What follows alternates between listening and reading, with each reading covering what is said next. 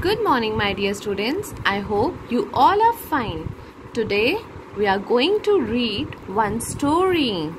The story is about Lipu and Lola.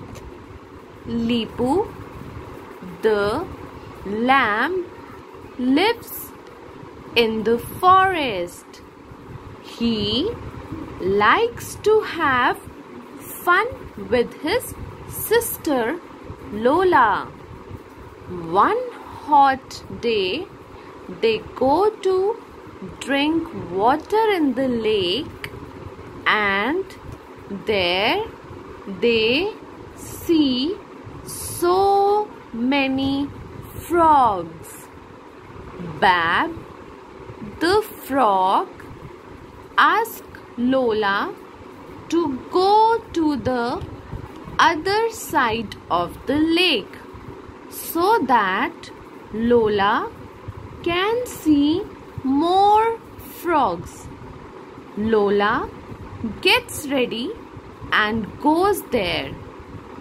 Lola see a magic box and brings to the Leepu. They open the box and see gems in the box.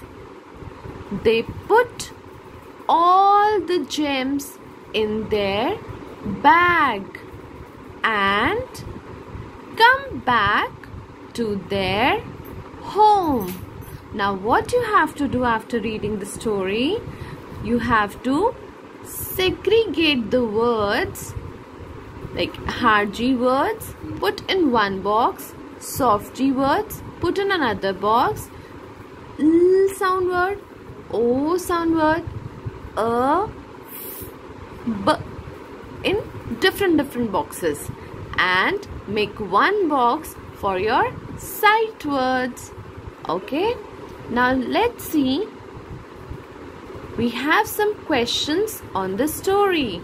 Who is Leepu? Yes, Leepu is the lamb. Where do they go to drink water? They go to drink water in the lake. What does they see in the lake? They see so many frogs. What does Lola finds on the other side of the lake? Lola finds a magic box. What does they see in a magic box? They see gems in the magic box. Yes?